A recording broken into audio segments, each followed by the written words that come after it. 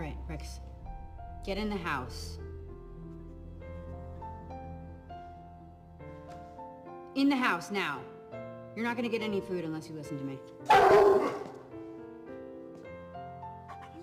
I will stand here all day, okay?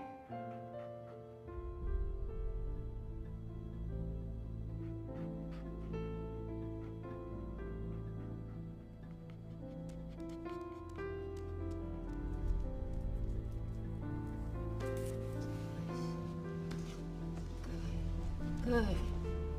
Good boy, stay.